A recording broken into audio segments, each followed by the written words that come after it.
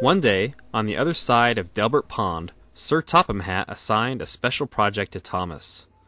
Thomas, I need you to shunt these cargo cars today as Salty is busy with the new dinosaur excavation. I'm counting on you to get the cars there on time, so you must not dilly dally, and you must stay away from the dinosaur excavation. said Sir Topham Hatt. Yes, sir, said Thomas. Thomas was upset that Salty got to see the dinosaur dig, but he didn't want to disappoint Sir Topham Hatt.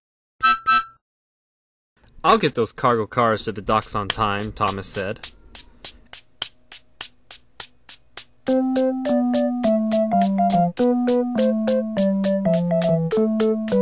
And away he went, steaming along the tracks when he spied Salty heading the opposite direction. Hello, Salty, Thomas said. I hear that you get to see the dinosaur excavation. Aye, Thomas, said Salty. It's quite a thing to see. I've got to get this fossil car to the museum safely, or it's my buffers. Salty hurried on his way, and Thomas carried on jealously, but he couldn't stop thinking about that dinosaur excavation. I could take a detour and make up the time later with the cargo cars, thought Thomas. Just then, Thomas changed direction and steamed over John's Bridge toward the dinosaur excavation.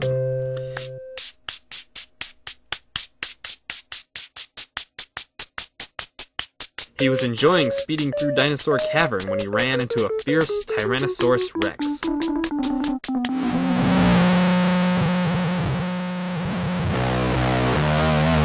Help me! Help me! Please!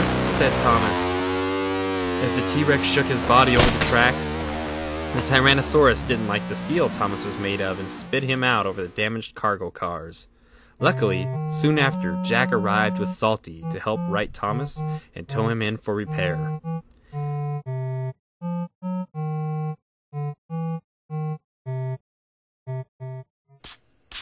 Looks like you busted your buffers, Thomas, Salty said.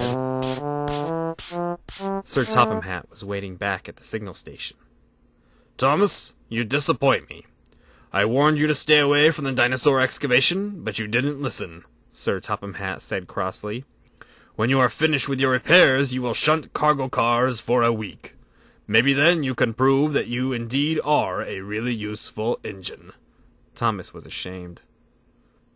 You're lucky you don't taste very good, Thomas, said Sir Topham Hatt. You could have become a fossil yourself.